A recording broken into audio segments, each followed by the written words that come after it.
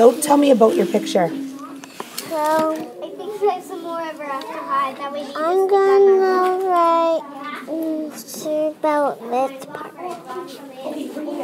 I love my picture. I love my snow girl. I love my boy. And